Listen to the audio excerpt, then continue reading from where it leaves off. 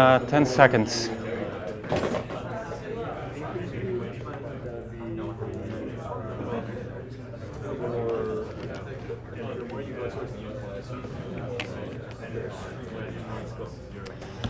Hi everyone, welcome to lecture three of CS287, but we still have a little bit of material to cover from lecture two, so we're first going to go through a few slides from lecture two that we didn't cover yet, and then we'll start the lecture three slides. Um, in terms of logistics, um, everybody who contacted us about getting into the class, if you did not hear back from us, that that means we lost your email, so contact us again. But if we got your email, we replied to you on Tuesday night, and you should have gotten a response that finalizes whether you're in or out. Um, other logistics, homework one is supposed to go out today. Might be pushed back to tomorrow, depending on how ready it is today. We'll see. We want to only get it to you when it's actually ready. And you'll have a little less than two weeks to complete that. I recommend you start early because it'll be representative of the future homeworks. And so if homework one doesn't go well, you might still have time to kind of drop out of the class and take another class. And if it goes well, then you know you're all set, and the other homework should go similarly well. Any questions about logistics? OK, so one thing I did is I, I wrote on the board the main equations we're going to see again in the first half of lecture. Just as a reminder, it'll always be up here for this lecture, the value iteration equation and the max ent uh, solution. And so that way you can of keep looking at it and internalize it if you're not that familiar with it yet. All right, quick recap of where we're at. We looked at the notion of an agent acting in an environment supposed to maximize the reward it collects in that environment. Um, the way we formalize this is through a Markov decision process, which has a set of states, a set of actions, a transition model that describes the probability of landing in state S prime when you start in state S and took action A, a reward function which describes what we care about. High reward is good, low reward is bad. And a discount factor which determines how much we care about future rewards because what we optimize is discounted sum of rewards. And so gamma to the t, since gamma is between 0 and 1, if gamma is closer to 0, then far out you don't really care. If gamma is closer to 1, you keep caring about things further out. Then the main algorithm we covered to solve an MDP is value iteration. And the key thing here is this update equation, Vi star, V star i plus 1, which is the optimal expected discounted sum of rewards you can collect when starting from state S and getting i plus 1 time steps to act in the environment, can be computed recursively as a function of Vi star, which is the optimal value for only i steps to go. And so we see here is the max overall actions, then average over next states, because we don't control that. The environment determines where we end up, and we average over that. The immediate reward we get, plus discount factor gamma times expected discounted rewards we'll get with only i steps left. And the way we initialize it, we can just set v0 star for all states s equal to 0, because when there's 0 time steps left, there's 0 reward left to be collected. And that's also the equation I have up here, so you can reference it throughout lecture. We saw value iteration in action on this grid world, and we kind of saw that, you know, on the if there's only one step left, well, only the two states from which you get to exit, you get anything non-zero for value. Everything else is still zero. And then it kind of radiates out from there as you get more and more steps to act in the world. And then at some point, it actually converges. This is after 100 iterations. These are the values. These are the optimal values for 100 time steps left in the world. And actually, with 1,000 time steps left in the world, up to two-digit precision, exactly the same amount as it was before. Then we saw an alternative way of solving MDPs. You might wonder, why would you see more than one way? Well, um, right now, um, value iteration might seem the most natural one uh, between the two, but in the future, we might see algorithms that actually build upon policy iteration uh, when we solve large problems where we need approximations. So in policy iteration, one iteration of policy iteration says I already have a policy. And you start with just some policy. You can choose whatever it is. You pick some policy, prescribe an action for each state. You then evaluate that policy using policy evaluation, um, which is like value iteration, just without the max, because the action is prescribed. You don't get to choose it anymore. you can run this till convergence. Once you've done that, you have the value for that policy for each state. And then you can do one step look ahead against that value to say, well, if I were to use policy pi k, which is the kth policy in my iteration count, um, from the next time step onwards, but I get to choose my first action still freely, what action would I choose? And that's a way to improve upon the policy pi k and gives us policy pi k plus 1. And then we go back to policy evaluation of policy pi k plus 1, do, in principle, infinitely many iterations of policy evaluation until we have the values, and then we go to the policy update again. And this uh, will also converge, and in some conditions, it will converge faster. Then we looked at this grid world here, where there are some obstacles, and there was also some question about this on Piazza, which was answered actually really well by a couple of students. Um, but just to quickly recap, um, in this world, what we're looking at is a grid world. And when we solve an MDP, by default, um, we get a solution for that specific MDP. But in the real world, it's possible that the MDP you're solving is actually not a perfect model of the world. And so in this scenario here, maybe a new obstacle gets put in place, but you don't know about it. And you're just executing your policy. And if somebody chooses that adversarially, it'll probably block you from getting to the goal, and you won't succeed anymore with your current policy. That's when we said, well, can we maybe find a way to be more robust? If maybe we find, instead of a policy that's deterministic, a stochastic policy, so it essentially has a range of things that could happen. And so if it gets blocked somewhere, well, there's other things that it might do the next time step, because it doesn't get stuck in this deadlock doing the same thing over and over, bumping into that same wall. The concept we had there was the concept of um, maximum entropy. Um, Entropy is this notion that you can measure for a random variable with distribution p how uncertain you are about that random variable. It's a measure that's specifically kind of motivated from information theory. It also is very convenient because it's a measure where when you do the math, it always almost always kind of works out really nicely. As we saw in the derivation for maxent for one time step, we saw the math worked out nicely. So it kind of has two good reasons to use it. One, the math will work out nicely. Two, it's very well motivated information theoretically.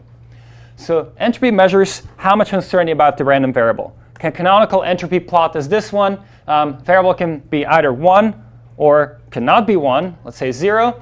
Horizontal axis here is probability of being 1. If it's 100% probability of being 1, it's here entropy is 0, no uncertainty. 100% probability of being 0, entropy is 0. In between, entropy is higher. And the more spread there is, the higher uh, the entropy. So on the left, you'll have higher entropy than on the right here. And you can also compute this. Then we said, OK, let's reformulate MDPs with maxent. Um, this is the original formulation. Let's now do maxent. We add an extra term. We want the policy to have high entropy in every state. And there's a trade-off factor there, beta, um, which the higher uh, beta is, the more you care about having high entropy. And the lower beta is the less you care about entropy and more you care just about collecting rewards. Then we had a little side step we had to do into constraint optimization, namely that if we want to solve a constraint optimization problem, we can instead actually solve this min-max problem, where the objective is now called the Lagrangian, and it's this thing over here. And we saw that at solution, the derivative with respect to x will be 0, derivative with respect to lambda will be 0. And then we solved the maxent problem for one time step. So we worked through this, um, did a bunch of math using that constraint optimization uh, math from the previous slide, did some simplifications, and found that the optimal policy, pi, for a one-step MDP, so it doesn't depend on state, you're just always in the same situation initially, pi of a is this thing over here, which key here is that we exponentiate the reward. And then there's a normalizing factor here, z, to make it all sum to 1, because it's a probability distribution. And so the higher the reward, the more likely, and in fact, um, exponentiating makes things go up very quickly. So if one action has much higher reward than the others, it will have much higher probability than the others.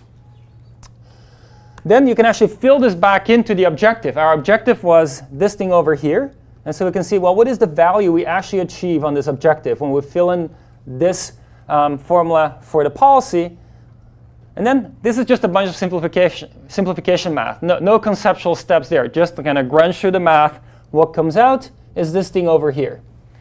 It's, let's ignore the beta. Let's assume beta equals 1. Then we have log sum exp RA.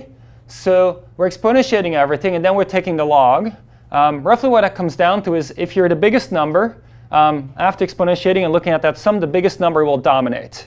And so it'll be pretty much exp of the biggest number. You take the log of that, you get back out the biggest number. It's not exactly that, it's a soft version of that. Every RA contributes, but so it's a soft version of that.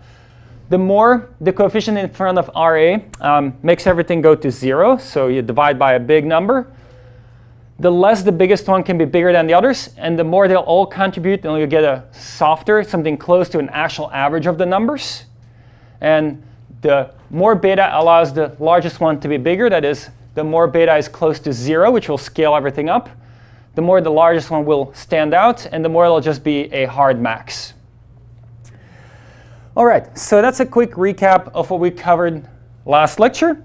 Now what we need to do is we need to see if we can derive maxent for value iteration. So let's do that one on the board.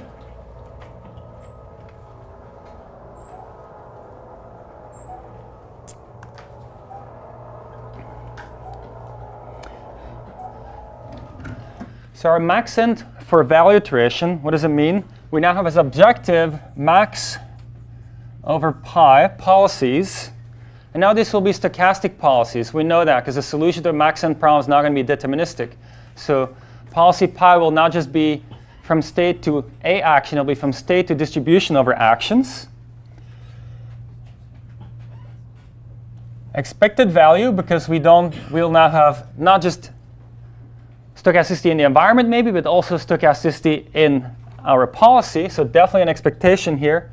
Sum over time, 0 through infinity, reward at time t, plus beta entropy of the policy in the state we're in at time t.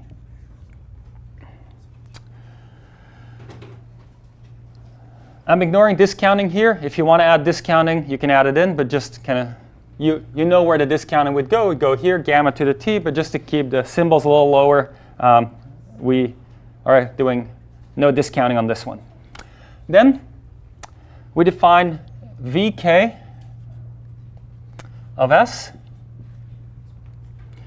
as max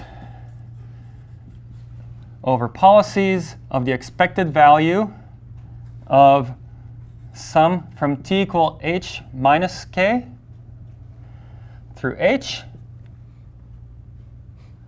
r st at plus beta h pi at given st. Well, really, pi. There's no at here. Um, okay. So what we have here is we're defining the optimal value for the maxent problem with k steps to go as, well, the reward we get in the last k steps and also the entropy we collect in the last k steps. Yes? Hey, does H mean entropy in both cases, or does it mean horizon in one case? Oh, yeah, we have two H's here. So how about I make one of them something else. How about I make this one the horizon, I'll make T, because entropy is kind of always H, and horizon is sometimes capital T, sometimes H. So yeah, there we go. Thank you. Now we can do a similar recursion as we had over there.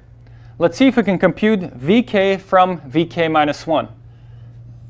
vk of s equals max over pi expected value of the reward we'll get immediately from being in state S and taking action A plus beta times the entropy we get in state S And well, sometimes I put a dot here, sometimes I'll, I'll just put A. Kind of means the same thing essentially, but just keep in mind there's the A here. It's still a distribution over which we compute entropy. Plus V k minus 1 of S prime, which would be the next state we visit. Now I'm going to make a small definition. And the definition I'm going to make is I'm going to say this here plus this here, I'm going to call Q. So I'm going to say, I'm going to rewrite this as Q K S A plus beta H pi A given S. And everything else stays the same. So max over pi, expected value, there we go.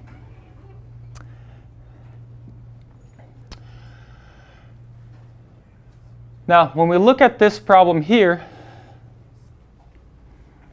this is actually the same problem we solved over here. There is no difference. The only difference is that over here, we have an appearance of R instead of Q. But that's the only difference. Nothing else is different in those equations. So that means if we know the solution to this optimization problem, we know the solution to that one. We just take the solution of this optimization problem, and wherever there's an R in the solution, we put in a Q, and we're good to go. Does that make sense? So we don't need to redo all this math. We don't need to resolve this. We know we already solved this problem. And what's the solution? Well, the solution is pi k a given s equals 1 over z exp 1 over beta q instead of r. There it was r, but again, r became q. Um, q k s comma a. That's our stochastic policy. So we favor taking actions where we have high q value. What is q value intuitively?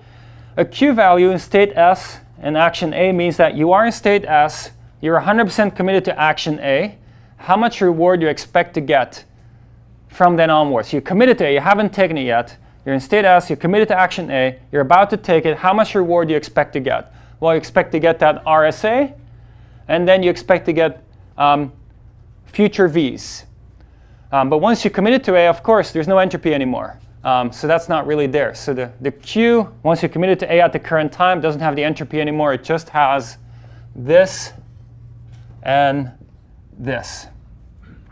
The Q still includes entropy from the future, because once you've taken your action, you're in the next state, you'll have a distribution over actions again. That comes in through this, of course, because this V has entropy in it from the future that you get rewarded for. So this is our action distribution. And our value will be same equation over here. Again, the only difference between this objective and the one over there is that there's a r here instead of and a q over there. So we have value is this kind of log sum x thing where we essentially look at the max if we have a very kind of beta very close to zero, and we look as just an average really when beta gets close to infinity. So V, oh, they're starting to run out. Um,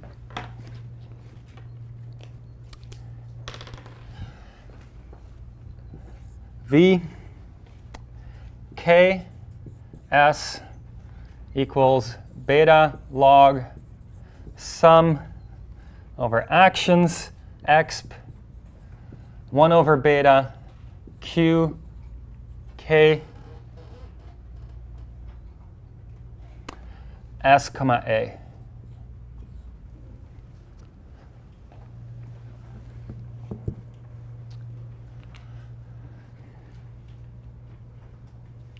Any questions about this? Yes? Sorry this is a naive question. Could you give a little bit of intuition around uh, where what the exponent is for? Like, like is that just applying softmax over all of the like values that we're basically getting before, or where's that? You're talking about the exponent here? Yeah. So what is it doing? It's doing the same thing it was doing over there. It's saying, I mean, first of all, it falls out of the math. Like I'm not putting it there because I, I, necessarily want it there. It just falls out of the derivation. We did the derivation last lecture and we just copy the result over. Well, intuitively, what's happening is when you exponentiate something, big things become really big, medium things become like a little bit big, and small things become really small, especially if they were negative, they become really small. And so the effect you have here is that it kind of amplifies the difference between all these numbers, between all the Q, K, S, A, amplifies that difference. Um, and so what that means is that when you then look at what happens here, if something is the biggest Q value, it'll get amplified and it'll get very high probability.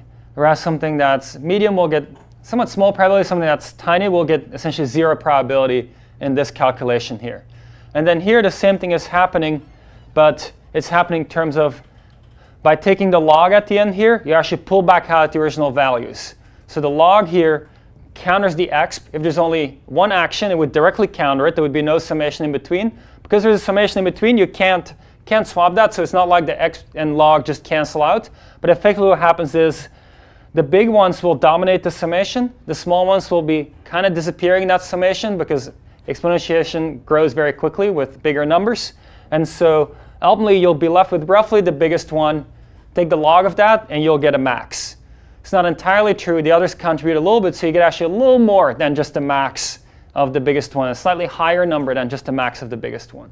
You're effectively like using the transformation to change the probability distribution, but then getting back the same value that was originally in that distribution. Um, these values here, Q, K, S, A, are coming from this identity over here. Correct. And that has, that's reward and future value. So the, this is really values that are living in here. Reward plus value lives in here and is together value for an extra time step. Yes? Why do we look at the, uh, this formulation uh, considering how reward is deterministic? It's only R of SA rather than R of SA comma S prime. Um, so uh, the question I think is why is there an expectation here with this inside the expectation? Um, the reason this is inside the expectation is because the policy can be stochastic. So there's still an expectation happening over actions. Even, even if the, like why is it no longer R of S comma A comma S prime? Oh, just, I mean, it's just a lot to write and you can do, I mean, you can do as a homework exercise to just practice to put an S prime in there and you'll, you'll get somewhat similar results. It's just probably a little more hairy when you derive it, but ultimately the same intuition will go through. Yes? Wait, just, so just to be clear, R of, it's going to be R of S A S prime plus VK of S prime summed over all S primes, essentially. Where, here? Like, uh, like R of, This expectation, if you want to be explicit, this expectation is over, um, that's over A, right? over A and over S Prime? t plus 1 or S prime, whatever you want to call it. Yeah, let's call it S prime. It's over both of those. Yes? Uh, where exactly are you using the um, derivation from last time, like the uh, So we look at this thing over here.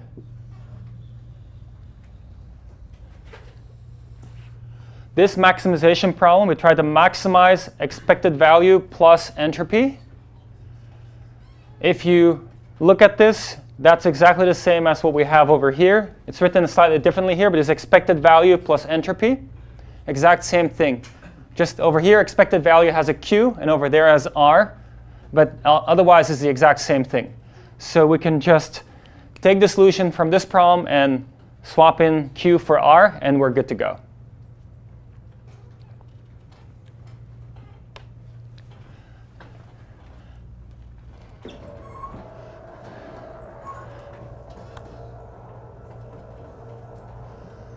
Now let's look at some of these in action. So going to watch some videos here where we have on the left, we're going to see the values evolve over time as we have iterations. So, um, and on the right, we will see rollouts. So the red dots or red little squares are where the agent starts, and you'll see the policy in action from there. And then on the left, you'll see value function uh, plots. Um, when I said at the top t equal 1, beta equal 1, essentially what I'm saying is when we call some, some people call it beta, some people call it t for temperature. Um, but we already have a lot of t's in kind of what we're doing with MDPs. But I just want you to be aware that some people will call it temperature, which is another capital T that, that would appear. Um, so let's see what happens. Beta equal 1, um, which I guess we don't really know what that means at this point. I mean, we don't know if that's high or low because we need to kind of compare, like, what happens when it's 1, and then later we can see what happens when we make it lower or higher. Do we get a different behavior? So let's take a look at this in action. Initially, with very few iterations, it can look far ahead. So for most states, it can never read, the reward is given at the bottom right here. It'll never reach there. So the optimal thing is to be just uniform action distribution for those states. If you never can get to the goal, what's the point in doing anything that uniform action distribution? And in fact, we see that with beta equal 1, which puts a pretty high weight on the entropy, most of it throughout stays just maximize essentially entropy and pretty much ignores reward because it's so hard to get. There's some discounting also, so it's kind of far away. And it doesn't really affect much what you're doing anywhere else. There's much more to be achieved in terms of objective by just maximizing entropy, and that's what's happening. Then um, let's make beta a little smaller. Sorry, t should be 1e minus 2. And just t and beta are the same. Oh, I realize now what it is. Well, the way I wrote is t is 1 over beta is 1e minus 2. Um, let's see what happens now. So we care less about entropy now. Um, the values will propagate a bit more out from the bottom right. Um, if the agent starts somewhat close, it'll in a jittery way try to get to the reward state at the bottom. But if it starts far away, it still has very little incentive to actually make it closer. And then here we have 1e minus 3. And things will propagate even further out in terms of value propagation. Um, but still, even at a, temperature of a beta value of 1e minus 3, mostly it likes to jitter around. And so you see that you, know, you actually need to bring your um, beta pretty low for this to um, do anything that resembles optimal behavior, which is what we get here if we run it for beta equals 0. We don't care about entropy at all. We see the fronts coming out from here. Um, it's getting a slightly less red color further out because it's discounted. So from further away, it takes longer to get to the reward. You get a little less. Um, on the top here, it still doesn't care at all about where it goes. Um, but soon when the front reaches there, it'll start caring and it'll start also moving towards the bottom right. And at the end, they all kind of make their way into that bottom right spot because it propagated all the way. All right, so what we covered in today's last Tuesday's lecture so far um, is everything but linear programming. So let's take a look at this last way of solving MDPs. This is a way of solving MDPs that actually has been very popular. Um, I would say was very popular maybe 10 years ago. It was the only way people were able to get really nice guarantees when solving things approximately. These days it's a little less popular, but I still want to make sure you're aware of the ideas behind it. Because with all those things, I mean, in 188, 20 years ago, nobody was working with neural nets pretty much, and we still taught neural nets. And then all of a sudden it came back, so it's good. We kept teaching it, and maybe the same thing will happen here. Maybe even though now almost nobody's doing linear programming for solving MDPs, maybe a couple years from now somebody has a new breakthrough, builds on it, and then at least you, you know, or you might be the one building on it um, in the near future, making it popular again. So I'm not going to work this one out on the board because I don't want to spend as much time on it as the other ones, but here's a linear program that we can solve to do, essentially to solve for V star. Let's start with the original thing. So we want a solution to this equation. And the way we found it is either to value iteration or policy iteration. And we found that it converges to V star, which satisfies this equation. Can we actually solve this equation directly? You say, well, this is just a nonlinear equation. Can we just say nonlinear equation solver? I have, you know, as many variables as there are states. I have as many equations as there are states. So as many equations as variables. It's nonlinear because of the max, but just give me a solution, see what comes out. That hasn't been too successful. What we can do is formulate it as a linear program that will do something somewhat similar. So here's the idea. We're going to minimize v. which is, or over v, this quantity over here. And these weights are supposed to be positive. So it's a positive weighting. You can say all may be equal to 1 or something um, of the values in the state, such that for all states and actions, the value is bigger than or equal to this thing. So think about this. Here we wanted equality. And then here we're saying, actually, we're going to make it an inequality. We're going to get rid of the max. We're just going to say if it has to be bigger than the max, it just has to be bigger than all of them. So I can just expand the number of equations, say I need to be bigger than all right-hand sides, no matter what the action is. And then I don't want to be too much bigger. I want to kind of lean into this and have it satisfied with equality for the action that achieves the max. For the other ones, we can't because we have to be bigger than the one that achieves the max. And that's exactly how this is set up over here. So we minimize the v values while making sure that they're bigger than the thing on the right-hand side, which in turn, um, oh, this should be a regular v, or they should all be v stars. Um, so that's the intuition. Um, now, theorem says that v star is the solution to the above linear program. Now, the way I explained it, it might sound very intuitive, but like, okay, this all makes sense. It's very natural. You know, you have this equation. You need to be equal to the max. That means bigger than all of them. I make it bigger than all of them, and I make it lean as in as closely as possible. It's going to be equal to the max. But it's actually a catch. V also appears on this side. So the intuition I kind of portrayed to you isn't exactly uh, tight from a mathematical point of view, because as you're trying to minimize here to lean against this, you're also bringing this thing down, and it's more complex than I just said. Yes, question? Uh, there's a V star on the right-hand side and no stars. Yeah, so, yeah. Mm -hmm. So what I said a couple minutes ago was that star should be no star, or all of them should have a star. Sorry about that. Yeah, so, um, even though what I just told you isn't uh, watertight uh, justification for why this will give the solution we're looking for, there's actually a proof, which we're not going to look in a lot of detail at, but it's kind of an interesting notion. Oh, can somebody close the door in the back? Um, it's a notion that if you apply the value iteration operation called f, you have vi, you apply f, value iteration update, a Bellman update, you get vi plus 1, that that's actually a monotonic operation, meaning that if you have two choices for VI, you have two of them, have VI and a UI, you apply the Bellman update. If VI was bigger than UI, then the updated version of VI will be bigger than the updated version of UI. Why? Because you sum it in and you sum in something bigger. Turns out you can use that property to show that this linear program as a solution has the unique uh, value function. This is more for your own kind of sake. Now, not expected to understand this in this like very quick explanation, but at least you have the full story in the slides. Now I'm going to ask you an interesting question. How about this program? What if we um, turn it around? Instead of minimizing, we maximize, and instead of making v bigger than f of v, we say it has to be smaller than f of v. Now, you're not super familiar with this notation, so let's go back to this thing over here. Essentially what we're saying is, instead of the min, we're going to max, and instead of having a bigger than here, we're going to put the smaller than there and see what happens. So turns out that there's a way to make that work also.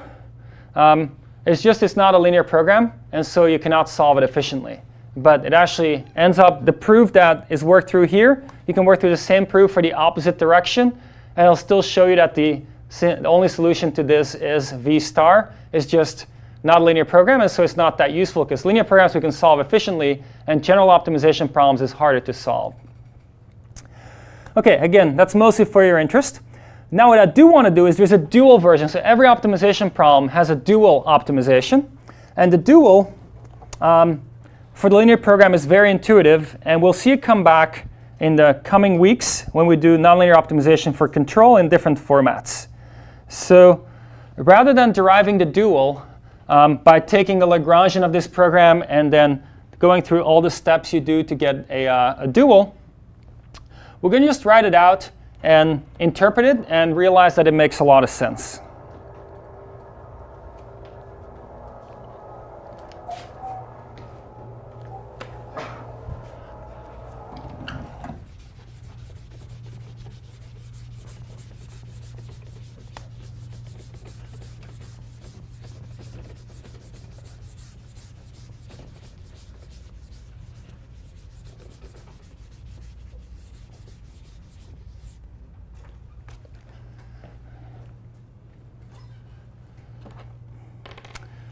Okay, so I'm just going to write it out, and then we're going to interpret it.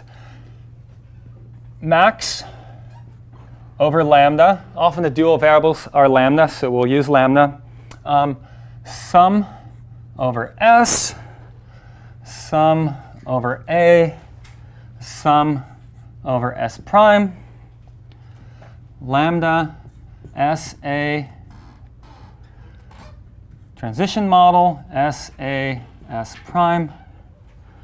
Reward for this transition are S A S prime. So we're going to maximize this quantity, which if you look at it carefully, you might already think of as an expectation. Imagine lambda is a distribution over states and actions. It's not going to be exactly that, but it's going to be very close to that. Imagine lambda is a distribution over states and actions. Then what is this? This is the expected value when you sum over all states and actions of reward you would get from that state taking that action.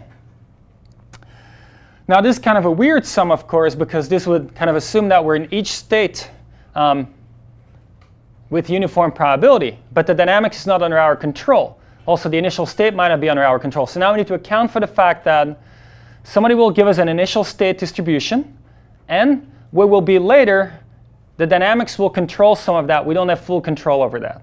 So we add a constraint subject to for all S prime sum over A prime lambda S prime A prime is equal to. So think of this as if lambda is the probability of being in state S prime and taking action A prime, then this is summing out over A prime and saying what's the probability of being in state S prime? I'm going to say the probability of being in state S prime has to be equal to mu 0. Oh, I think I got a typo on the slides here. This should be S prime. Mu 0 S prime. So probability, so on the slide it has an S, this has to be S prime.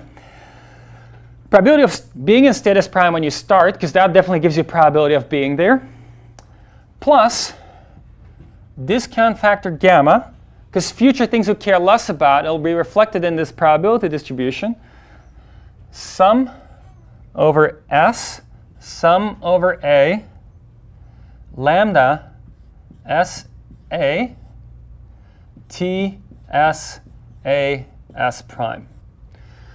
So this is saying, well, what's the probability if we start in S prime? And then this is saying, well, imagine we were somewhere else. What's our probability of landing in S prime? Because there's two ways to achieve S prime. We could have started there, we could have landed there. And it's so it's a self-consistent set of equations because this has to be true for every s prime I say here. That's this equation for every s prime.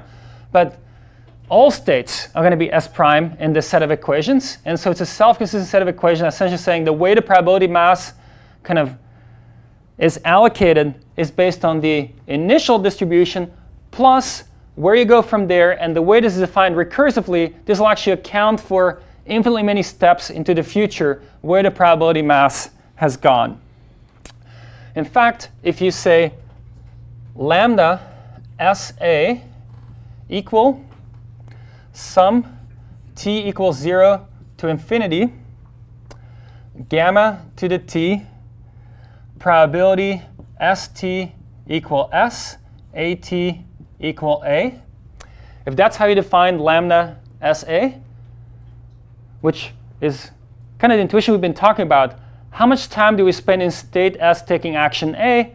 But if we do it in the future, it counts for less. So it's really the discounted version of that. If we look at the discounted version of that and call that lambda SA, we'll see that this thing will satisfy this equation over here. And it's a self-consistent set of equations that actually allows you to solve for this thing over here. Because this gives you equation value to solve for what these are, because you don't know what these are, because you don't know what your policy is. And only when your policy is set do you know what these are. And you actually have a lot of choices that satisfy this, and then the one that you want to pick is the one that maximizes reward. And so the key intuition here is this, this quantity here, that the meaning of the dual variable is the expected discounted amount of time spent in state S taking action A.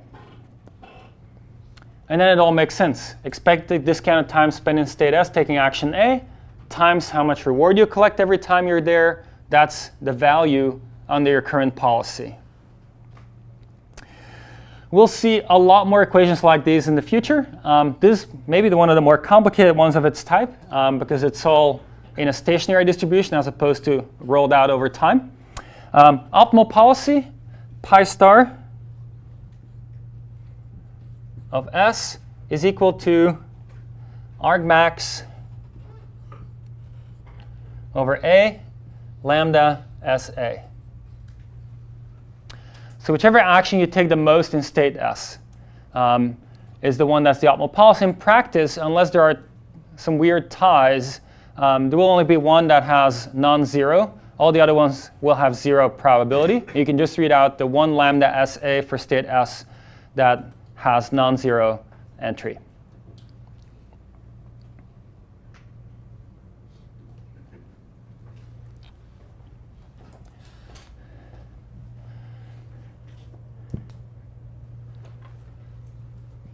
Any questions about this? Because actually we'll see this come back, so it's good if this notation is clear because we'll see similar things in the future. Yes? why there's only going to be one non-zero? Okay, so when you think about this thing over here, it's the expected discounted amount of time spent in state S taking action A. And you think about the dynamics of the world. For every policy, so think about any policy you could choose. There's so many policies out there. For every policy you could pick, there'll be a resulting lambda SA. So pick a policy, a lambda SA will result, right? Now, you could pick stochastic policy, you could pick deterministic policy, and so forth, but we can pick any policy we want, and we're still trying to find the best one, right? And we know that the best policy in a MDP, when there's no maxent, well, it's, it's going to change. If, I mean, if we actually put a maxent in the objective, it'd be different. But since there's no maxent here, we know that the optimal policy is going to be deterministic. Because one action will be better than the other actions, you should just take it. Or maybe there's a couple that are tied for best, you should take one of those. And so that will show up when you run this optimization. Essentially, you're cycling in implicitly over all possible policies out there. Each policy implies a lambda SA. Rather than asking for the policy, you just say, I'm going to cycle over lambda SAs because there is a one-to-one -one correspondence between lambda SAs and policies.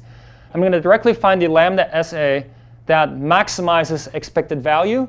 And since we know the optimal policy, we know from our past work in value iteration and so forth that the optimal policy is going to be deterministic, or there exist optimal policies that are deterministic, the same thing will be true here.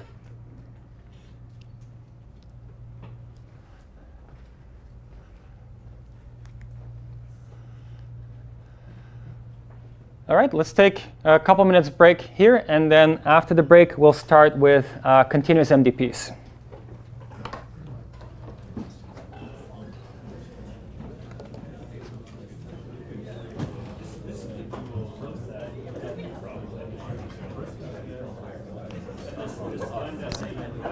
Okay.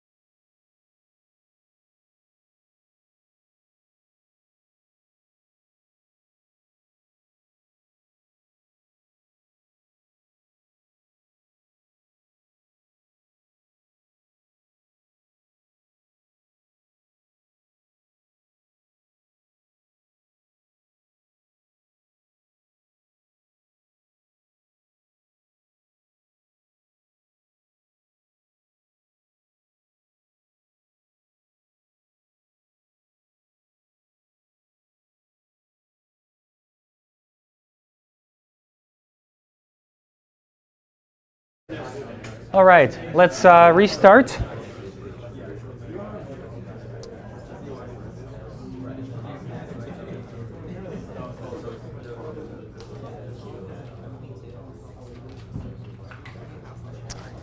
So one question that came up during the break is, um, well, I'll just give the answer. I'll give it the, the two intuitions. One is um, essentially if you think about lambda SA, it's a probability distribution, but it's not normalized. The sum over a lambda SA for a specific S will not sum to 1, but whatever it sums to, that's your normalizing constant.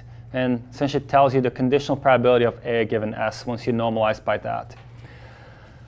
With that in mind, you can then also actually start thinking about entropy maximization. So you can actually, instead of having just the objective be expected rewards, you can add a term that's entropy. And now you have an optimization problem that is trying to find the lambda SAs that not just result in optimal reward, but also maximize entropy with some trade-off factor there. Yes? Is there a quantitative relationship between lambda SA and Q value for SA? Um, there is no direct relationship between lambda and q in the sense that you can read one off the other. Um, even though they both have s and as arguments, lambda SA is really a policy. And now, if you did the maxent version, then you could probably take the log of the lambda SAs and get back out the q, q values. But for the uh, regular version, essentially it's going to be a deterministic solution, and the q values will have kind of disappeared. So it's not clear how to get it back out. That said, if you solve a linear program, you do get the dual variables. The dual variables here will, I believe, be the q values or the v values. I forget, depending on how many constraints there are exactly in this one. Yeah. Um, I mostly asked because it was the argmax A over this versus argmax A over q values will still mm -hmm. be the optimal policy. Mm -hmm. So yeah, in that sense, there's a relationship, but it's not. You can't read one off from the other. Okay, okay so now we're going to look at solving continuous MDPs with using discretization. Okay? So we're going to build on what we already covered to solve more difficult problems. Um, so we're still trying to solve MDPs, so agent acting in the world, trying to collect as much reward as possible. Um, still same framework. We recapped at the beginning of lecture, so let's go through this fast. We saw um, value iteration already again. Um, we know how this works. But what if now we have a continuous state space? S is a continuous set. Value iteration becomes impractical um, because if you need to do for all states this update, when it's continuous, or maybe discrete and very large, but today we'll look at continuous, um, that's infinitely many updates you need to do. And so even one iteration of value iteration will never finish. And so the question is, how do we deal with that? Um, well, what if we turn the original MDP, which is continuous, into a discrete MDP? Discretized version. So we have an original model, states and model over there, and then we put some bars above it to annotate that this is not the real thing we want to solve anymore, but hopefully it's related and it's discrete. Well, one way we could do this is we could grid the state space. We could say, OK, it's continuous, but we just take some points on a grid and we only look at those and define our MDP over those points instead of the original continuous space. We'd also need to reduce the action set probably. If there's continuous actions, we also grid out the actions. Um, sometimes that's not needed, by the way. We'll see examples where you don't need to discretize the actions, even though you have to discretize the states. Why is that? Well, there's a max there, right? And so sometimes this max is an optimization problem that is an easy optimization where you just say, oh, max over a, but it's a continuous variable. Oh, I can put the grade in respect to a equal to 0. Maybe there's a closed form solution.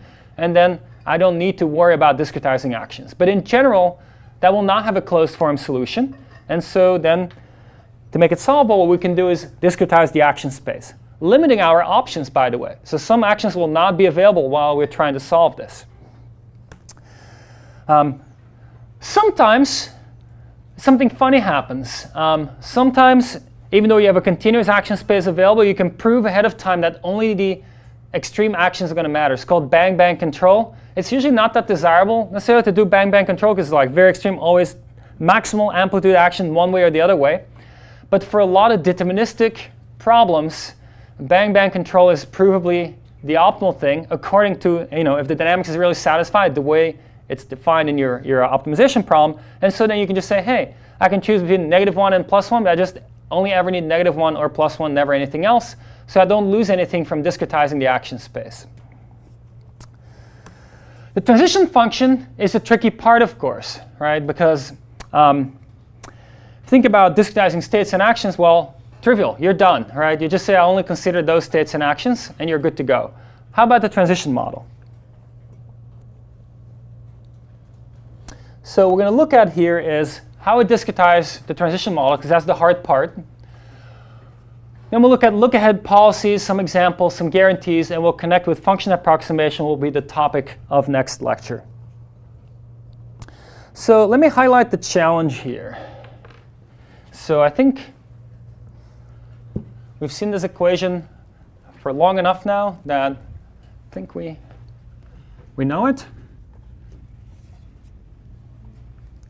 So let's use this side of the board now to think through what happens when we discretize.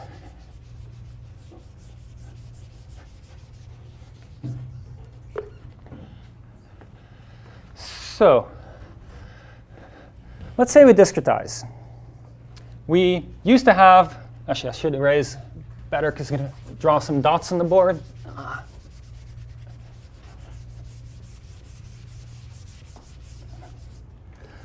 Let's discretize our original rectangle. If that's our state space, we can say, well, that's too much, it's continuous, we can't deal with it. Um, well, how about we just say, this is possible, this is possible, maybe this is possible, this one's possible, this one, and this one. That's all we, we're going to iterate over. So just six states. Should be very fast to run value iteration now. OK, let's think about running value iteration. We're thinking about this state. We're going to look at the sum over all future states S prime. We'll call our transition function. And when it says, well, sometimes you end up over here. Sometimes you end up over here. Sometimes you end up over here. Well, how are we going to do backups now?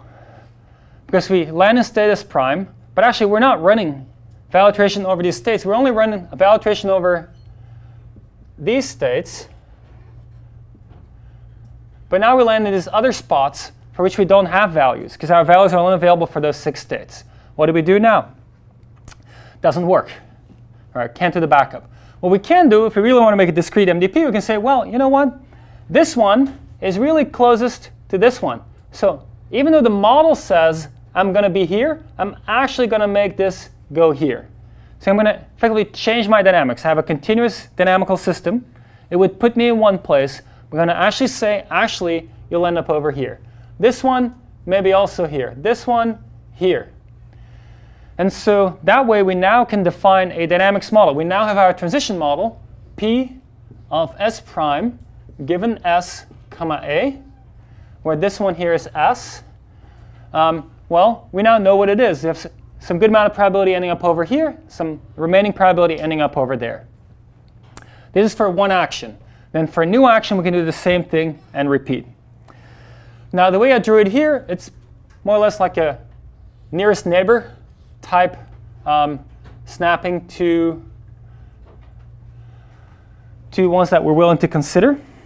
That's one way to do it. There are other ways to do it. So nearest neighbor is very convenient because it's simple. If you look at continuous state, you just need to look at a certain level of uh, accuracy, and then you just round effectively, and that's your discrete state. Um, but the tricky thing with this nearest neighbor kind of snapping is that it doesn't reflect the dynamics all that well.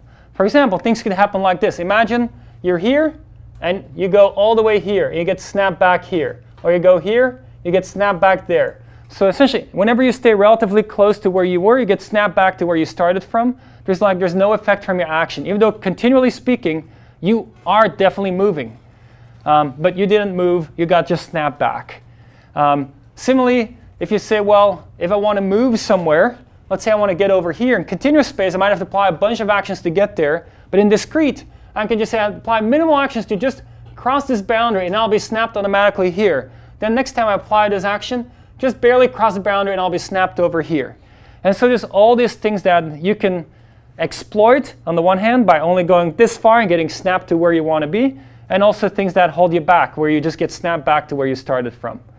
But in principle, it's a valid approach. I mean, the things I talked about, if you make your grid finer and finer and finer, the effects will become less and less and less. So with a fine enough grid, it should work, but intuitively, it's, it's kind of not the behavior you hope for when you turn something continuous into something discrete. What can we do instead? What's a more natural thing to do? Well, more natural could be something where, let's say we still have the same set of states that we're willing to consider.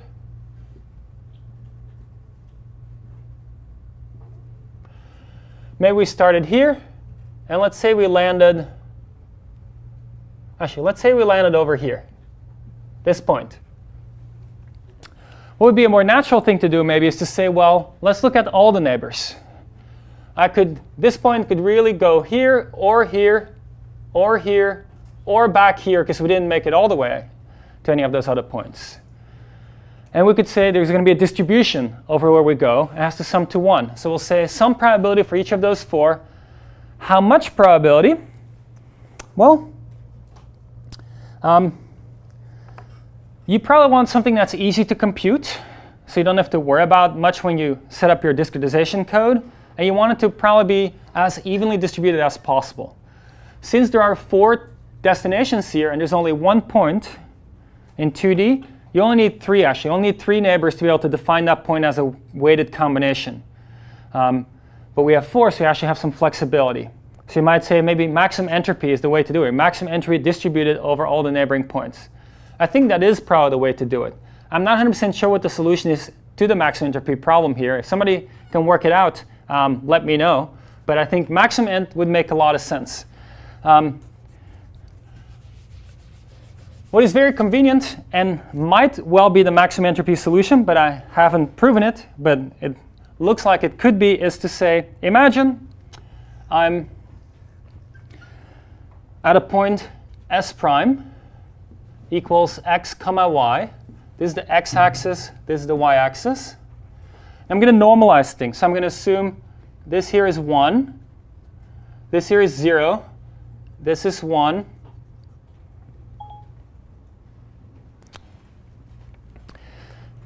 So you'd have to do some normalization work in your code to set this up, but intuitively this should be clear.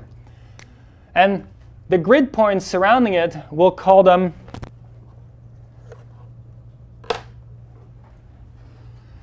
This one I'll call psi, wrong Greek symbol.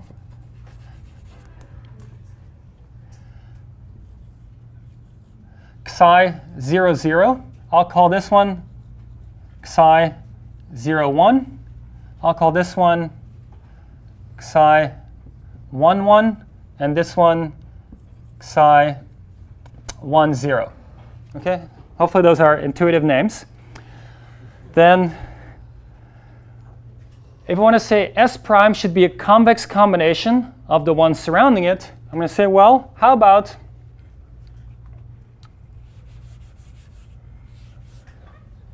how about S prime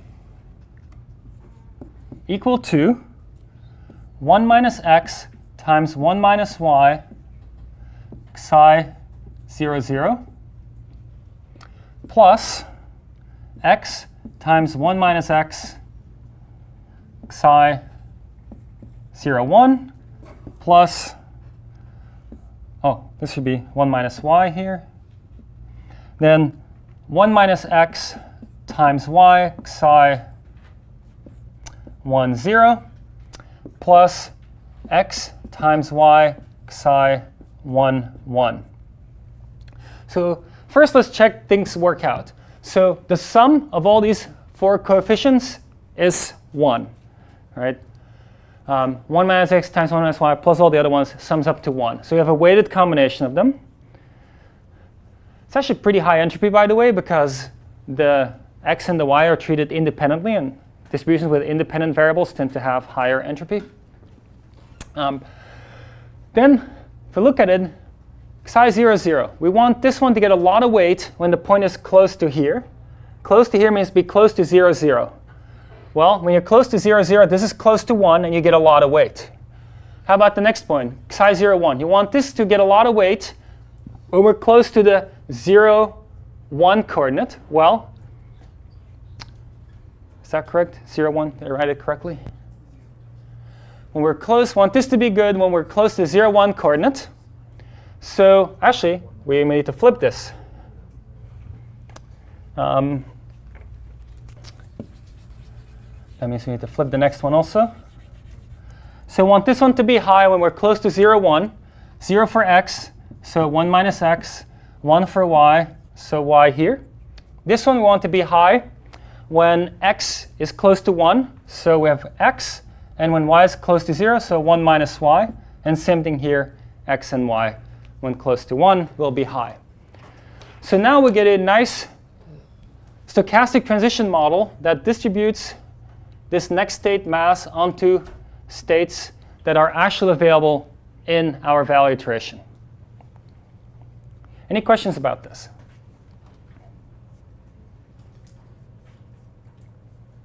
Yes? So you're not snapping the state onto one of those, you're just distributing a probability mass?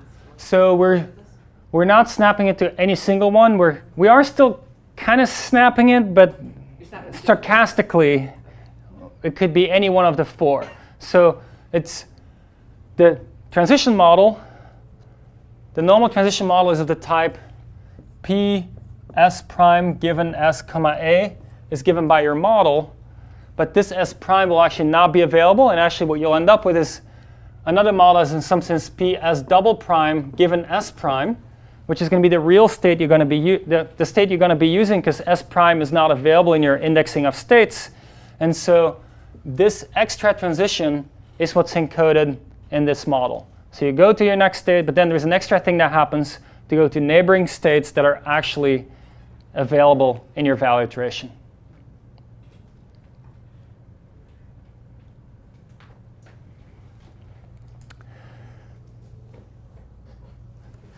So we also have some slides doing the same kind of uh, drawings. So we already saw this. We already saw this. Um, we saw this, though I have to go fix a typo there. Um, you can actually also do something else. So in what I described here, I said we're going to take essentially the four states around us. Principle 3 is enough. In high dimensions, let's say k-dimensional space, k plus 1 is enough to surround your point. Um, and something called Kuhn triangulation exists that is a fairly efficient way to find uh, a triangulation, or it'll be not triangles, but tetrahedrons and so forth in higher dimensional space that tell you how to interpolate uh, this way. And I have some, some slides here explaining how that works, and there's some detailed math. Um, in practice, what it does, it introduces some asymmetries. Because once you do this kind of thing, well, why? Why should we, in this case,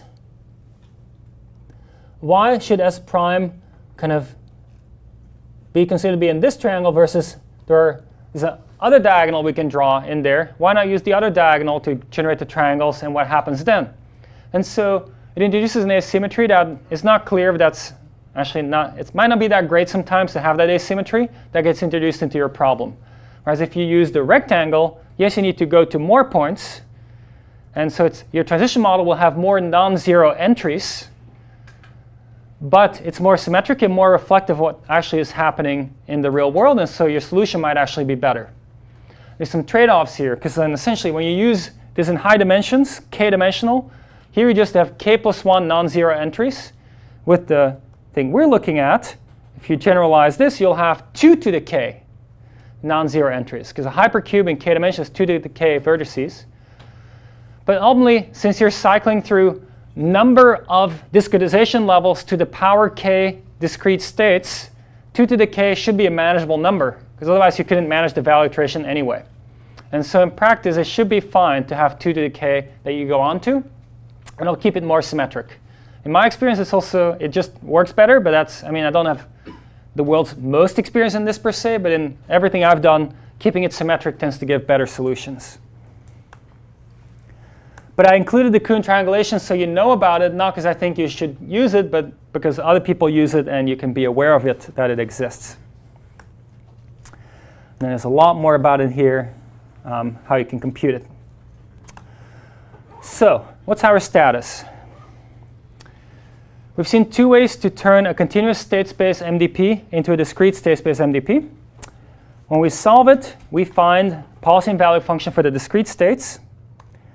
They are optimal for the discrete MDP, but typically not for the original MDP, because we solved a new problem. We essentially changed the dynamics to be different from what they used to be. So the remaining questions are how to act when in a state that is not in the discrete state set. What's going to be your policy, because you have no policy available.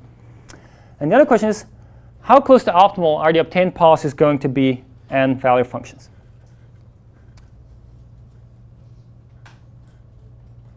So Simplest way to act is to not use any look ahead at all. So what you can do is you can use the same kind of idea that we used for snapping or taking stochastic mixture to look at what should happen in a specific state. We could say, well, just look at the neighboring states, see which one is the closest, and use the action that that state prescribes. Or if we do stochastic interpolation, we can say, let's look at my neighboring states, Let's see what kind of average I am of those neighboring states. If the action is continuous, I can just average the actions of my neighboring states, and that's my new action. If the action is not continuous, averaging might not make sense, but I can take stochastic sample based on the weights I assign to each of the neighboring states. You can do more actually than that. What can you do more? You can actually do look ahead. You can say, I'm not going to just uh, take the discrete policy and use it. I'm going to use the value function. I'm going to do one step look ahead. So the equation shown, top left here, says one step look ahead. I look at my action space, look at reward available, plus, and you might want to discount depending on your problem, then the transition model here um, from the next state onto um, its discrete counterparts. So this is just a one-step look ahead, and it can actually give much better performance because now you can more carefully consider your action, see what the consequences are, and take an action based on that. There's actually no reason you need to restrict it to looking one step ahead. You can look as many steps ahead as you want. You can say, I'm going to look k steps ahead. So I'm going to see if I take this sequence of actions, what is the sequence of rewards I get? At the end, I land in some state S prime, which might not be part of my discrete set, but I can still see it as a mixture of neighboring states that are in my discrete set and take the value from that mixture and say, OK, how good was this action sequence, both in terms of reward and future value. Now, how do you enumerate the action sequences? Sometimes a lot of options. So what are you going to do? Option one, you actually just enumerate them straight up. If there's a small number of actions at each time step, you might be able to do it for a short horizon. Say you only have two actions available horizon of 10, that's 2 to the 10. So 1,000 options you explore and you see which one's the best is feasible. Then, part of the beauty, by the way, when you do this is that for this entire sequence here, you're not discretizing anymore, right? No discretization happens. You're using the exact model that's available to you to forward simulate, and it's only at the very end that you make an approximation. The value you use after, let's say, 10 time steps is the value if you were to be in the discretized version. But everything before that is precise. Now, to be fair, if your dynamics is stochastic, you won't just have a single rollout for an action sequence. You have to do multiple rollouts for a single action sequence to see what the range of possible futures is and average it. So it might start adding up. Another thing you can do is something called random shooting. You say, well, there's too many options, but I'm just going to randomly sample a few sequences of actions, evaluate this objective, see which one does the best, and take that sequence of actions. To be fair, by the way, you don't really take that sequence of actions. What you do is you have the sequence of actions, you take the first action in that sequence, and then you repeat this process. Because you'll be continually, for every decision, doing the look ahead to see what right now looks the best if you were to look, let's say, 10 steps ahead, topped off by an approximate value function at the end. You can also do something else. You can run an optimization. You say, that's an optimization problem. I can just run straight up optimization. We'll see some of that. Um, local gradient descent we'll see in future lectures. What I want to highlight in this lecture, one of the main concepts I want to get across is cross entropy method. So, um, cross entropy method is a way to maximize any function, f of x, over some vector value variable x, and f goes from Rn to R. And the function f does not need to be differentiable, by the way. What's the idea in cross entropy method? Um, very, very simple. You start with a Gaussian distribution centered around 0. You sample from that distribution a vector, mu, that's going to be your new, um, your new mean. So that's your starting point. You have a mean as a starting point. Then you iterate. You're going to improve that mean because you're going to be shifting that Gaussian distribution to a new mean, new mean, new mean, iteration after iteration after iteration. But where are you going to shift it? You want to shift it such that the mean is in the spot where the best x is. And then you can use that mean later as your solution. So once we have a mean, we iterate. We sample x's from a Gaussian with the current mean. Oh, indexing is off by, by one here, sorry. So you sample your x, a bunch, first x, xe, from the Gaussian with the current mean. You compute the function value there, and you repeat. So there's a loop. You get a bunch of x's, samples from your Gaussian, and you evaluate what the function value is. Then you say, well, where should I move my mean towards? Well, you just say, well, which were the x's that achieved the top 10% of function value? Whichever x achieved top 10%, let's take just those x's, take the average of that, call that the new mean, and repeat. So pretty much simplest thing to code up also. You have to code up something extremely simple only. You just have to sample from a, from a Gaussian, a bunch of x's, see which one are the best ones, top 10%, take the mean, repeat. It turns out that this will typically move the mean towards the position where you maximize f of x. It's a little uh, more subtle than that. It'll try. It'll move the mean towards where, you know, under this kind of variance around the mean, you have the maximum expected value on f of x. But if your variance is relatively small, then essentially you find where f of x is the highest. There are a few generalizations of this. So the sigma and the 10% are hyperparameters. You can play with those. In principle, you can fit sigma to the top 10%, or if you even fit a full covariance matrix to the top 10% and use that in the next round. Um, how about discrete action space? As well, discrete, you can look at the top 10%, and let's, x is a vector. For the first entry in x, you can say, well, it's discrete. Maybe it's either heads or tails. You can see the fraction of times in the top 10% you have heads versus tails.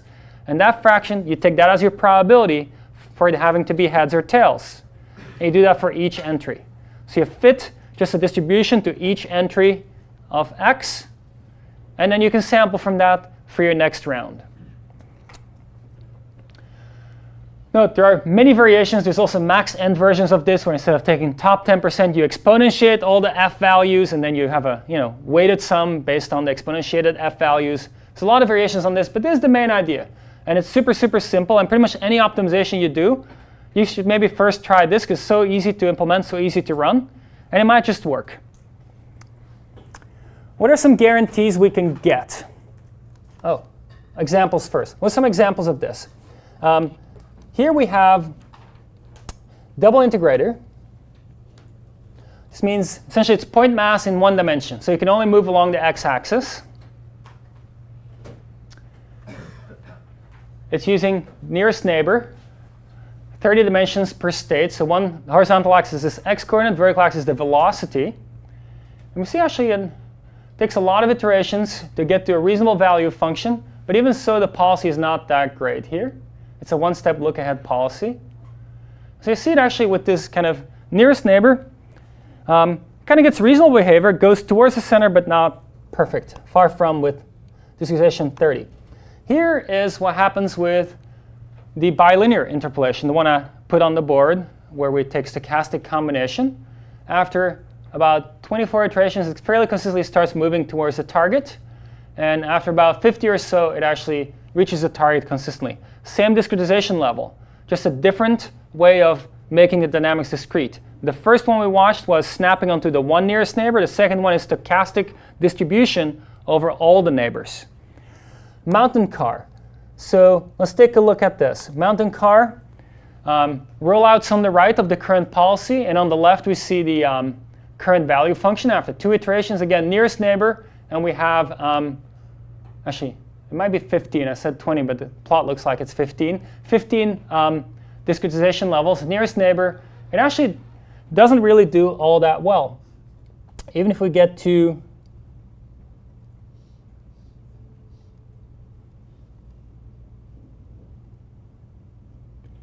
very far in, the value function is actually pretty bad.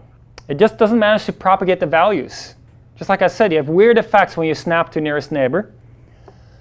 At 150, mountain car finally starts to work for nearest neighbor. Actually, a little sooner, but it's close to 150 when it finally starts to work and still needs a, a lot of iterations. So, and again, it doesn't propagate very naturally. And it's supposed to go to the top right there to the flag, and it's just not going there because just the way things propagate, this 2D problem, there's position and velocity, even all the way out here, it's just not doing that great. But at the very end, it does. It's just good enough to sometimes make it up to um, the top right. Um, here is, actually, here's 150. Um, if we look at the end here for 150, and over here, it actually starts getting there, again, somewhat consistently, but not that great. How about bilinear? We do bilinear, just discretization of 20. It actually learns super fast. So just a few iterations in, you'll see things start to propagate very well. Much better propagation of values. Now, it's not far enough yet to actually have propagated to the bottom of this thing, which is in the you know, bottom left corner. But actually, there's already some things that have propagated, even though it can't. It still looks very blue, and it's already making it after 30 iterations. So massive difference um, in terms of how well signal propagates. We only have a couple minutes left, so I'm going to take questions after lecture. We compare um,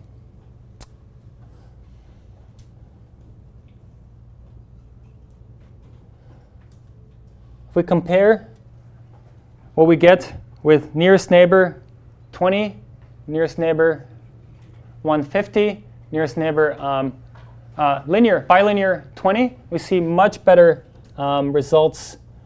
We'll look all the way at the end. The bilinear just drastically outperforms the other ones in terms of getting a good value function out for this problem. This is what it's supposed to look like, and it actually gets it. OK, let's see. We have one minute left. Um, let's do the guarantees next time. In your homework, you're actually going to get to implement a lot of the things we just showed here on a variety of environments and study the effects of different discretization levels, look aheads, and so forth.